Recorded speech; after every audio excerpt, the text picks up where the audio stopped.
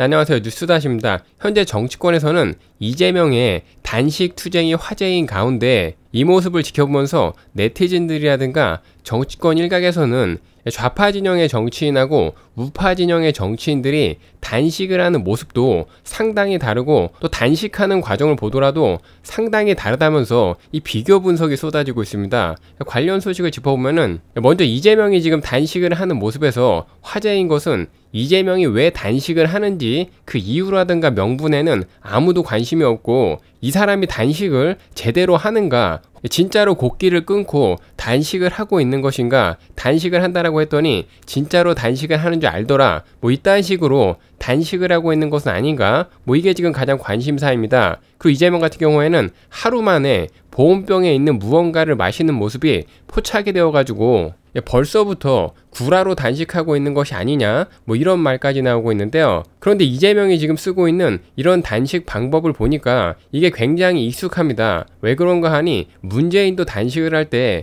이재명과 마찬가지로 보온병 스킬을 썼으며 예, 과거 문재인 역시도 세월호 사건이 일어났을 때 단식을 한 적이 있는데 당시에 문재인의 모습을 보면은 이재명과 똑같이 앞에 물이 있음에도 불구하고 굳이 보온병을 사용을 해서 물을 마시고 있는데요. 그 두 사람 다 마찬가지로 보온병을 쓸 이유가 없는 여름철에 단식 투쟁을 했는데 굳이 왜 내용물을 확인할 수 없는 보온병을 사용을 했는지 모르겠다라는 이러한 지적이 나오고 있고 특히나 문재인 같은 경우에는 단식을 할 때 보온병이 막 바뀌어가면서 계속 등장을 해가지고 당시에도 논란이 있었습니다. 아마도 이재명이 선배 정치인들의 이런 스킬을 좀 본받은 것이 아닌가 이러한 생각이 들고 또 이들의 단식을 하는 모습을 보면은 우파 진영의 정치인들하고는 확실히 차이가 나는데 과거 김성태 전 원내대표 같은 경우에는 단식을 할 때 항상 그 내용물이 확인이 되는 투명한 병을 이용을 해가지고 단식을 했는데 문재인과 이재명 같은 경우에는 굳이 왜 오해를 살 만한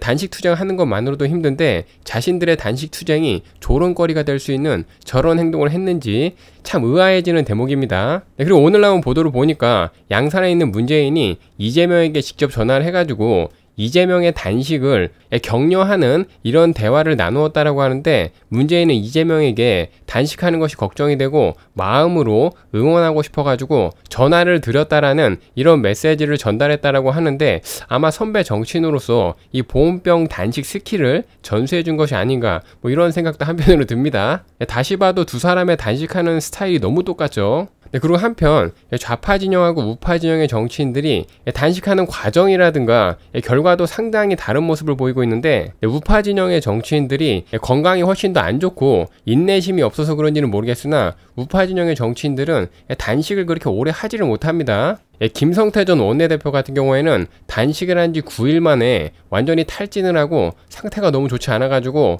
병원으로 실려갔으며 예, 황교안 전 대표 역시도 8일 만에 건강 상태가 너무 많이 악화가 되어가지고 단식을 중단을 했는데요. 그런데 희한하게도 이 좌파 진영의 정치인들 같은 경우에는 아무리 단식을 오래 해도 멀쩡한 모습을 많이 보여줍니다. 대표적으로 문재인 같은 경우에는 세월호 단식을 열흘 이상을 했지만은 뭐 수염이 자란 거 외에는 굉장히 멀쩡한 모습을 보여줘가지고 당시에도 무슨 초인이냐 이런 얘기까지 나왔으며 정청래 같은 경우에는 단식을 무려 45일이나 했습니다. 그럼에도 불구하고 별로 위독해 보이는 모습까지는 보이지 않았습니다. 그리고 이러한 모습은 과거 김영삼 전 대통령 대통령하고 비교했을 때 확연히 차이가 나는데 네, 김영삼 전 대통령 같은 경우에는 23일 동안 단식을 하고 보시는 바와 같이 완전히 산 송장이 되었는데 예, 정청래는 좀 너무 말짱한 것이 아니었나 뭐 이런 생각이 한편으로 듭니다. 예, 물론 정청래가 단식하는 중간중간에 돌아다니면서 보좌관이 망을 보고 있는 차에 타가지고 무엇을 하고 나왔는지는 알 수가 없고 예, 단식하는 도중에 돌아다니면서 담배를 피는 등뭐 이런 행동을 했지만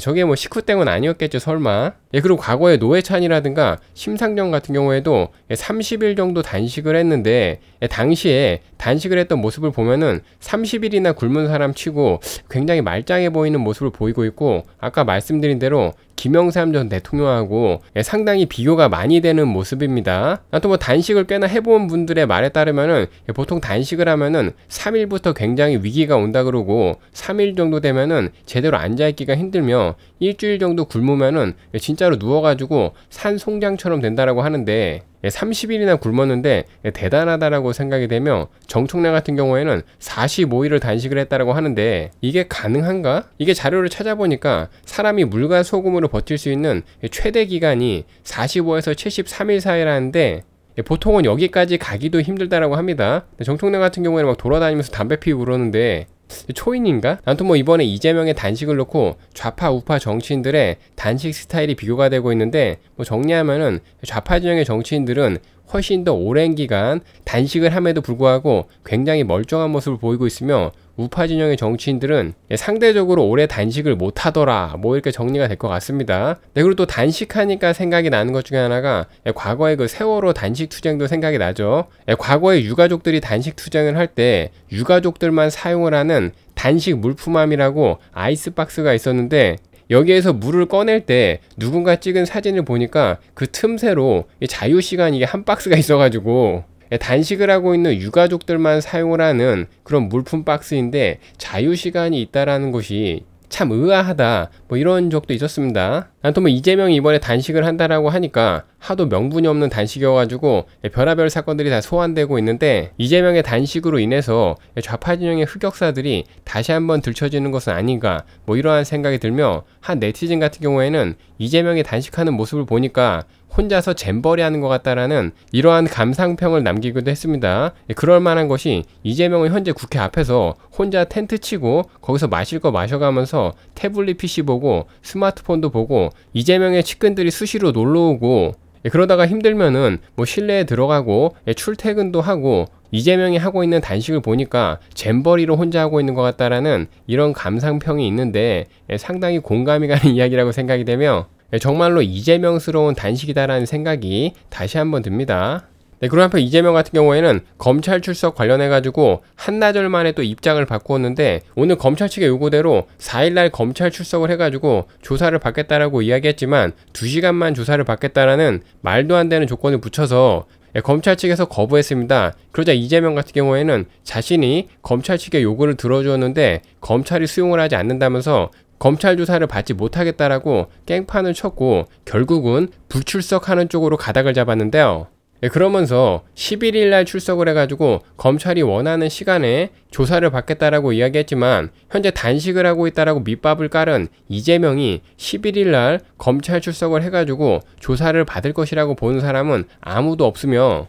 예, 법조계에서도 현재 단식을 하고 있는 이재명이 11일까지 단식을 하면은 거의 살아있는 시체가 되는 것이나 다름이 없는데 그때 어떻게 검찰이 이재명을 소환을 해가지고 예, 조사를 할 수 있겠는가 말도 안 된다라고 지적을 하고 있으며 현재 이재명의 단식은 검찰 수사를 받지 않기 위한 전략이라는 것을 이재명 스스로가 다시 한번 증명한 것이라고 비판이 나오고 있고 더 나아가서 검찰 수사 받기 싫어가지고 단식을 하면서 들어 눕는 야당 대표는 보다 보다 처음 본다라는 뭐 이런 비판들이 쏟아지고 있습니다. 아무튼 뭐 이재명의 이런 모습을 보고 있으면은 아 사람이 부끄러움을 모른다라는 것이 저런 것이구나라는 생각이 다시 한번 들며 차기 총선 때는 확실하게 심판해서 더 이상 정치권에서 이런 막장 쇼를 보지 않았으면 좋겠다는 생각이 듭니다. 이번 소식은 여기까지 하겠습니다.